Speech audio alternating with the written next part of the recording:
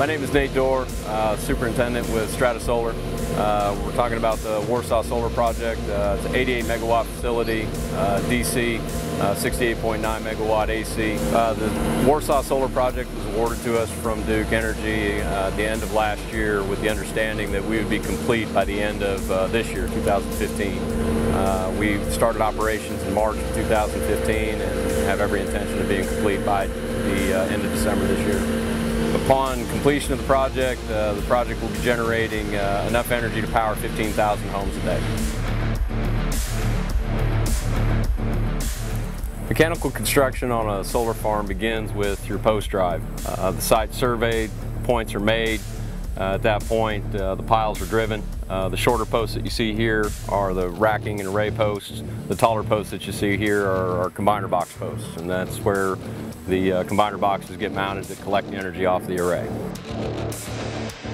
So the next step in mechanical construction here at Warsaw is tilt bracket installation.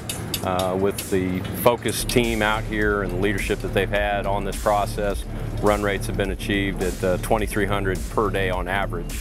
Uh, in addition to that, uh, the safety portion of the installation site-wide uh, has been amazing in and of itself uh, from the fact that we've installed uh, 250,000 man hours at this time without a recordable injury. The last step in uh, mechanical uh, installation before glass is table installation. What we've done here is they've extended the table out. Now they're going to go ahead and set it into the tilt brackets we were talking about earlier, and then that'll get locked in. And then at that point in time, once it gets locked in, squared up, it'll be ready for uh, panel installation for glass. Here at Warsaw, that process you just saw there gets played out about 900 times a day. Our final step in mechanical installation is uh, module install.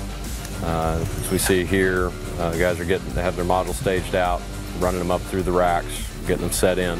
That process happens on average 17,000 times a week out here at Warsaw, which is a, a huge amount of production. Again, the, the same common thread, common denominator that, that, that, we're seeing is, you know, a group of people that are of a single focus on a single objective, working together with excellent leadership to, to make it all happen.